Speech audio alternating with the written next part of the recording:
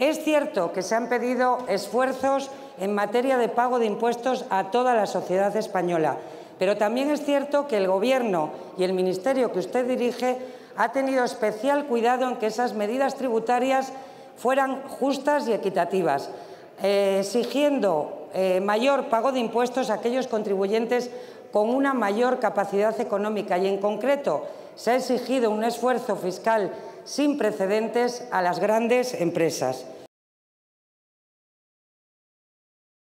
Cuando llegamos al Gobierno había una manifiesta insuficiencia tributaria y tomamos medidas de subida de impuestos, efectivamente, pero lo hicimos de manera equitativa, de manera ponderada, de manera que el, aumento de recaudación del año 2012 vino de más de 4.800 millones de euros por eh, el endurecimiento de las condiciones tributarias de lo que llamamos grandes contribuyentes, grandes empresas en España.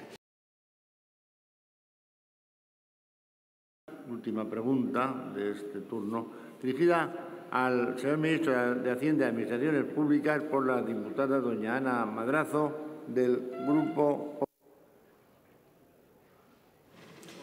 Gracias, señor presidente. Señor ministro. Gracias, señora diputada. Señor ministro. Gracias, señor presidente. Señora diputada, señora Madrazo. Gracias, señor ministro.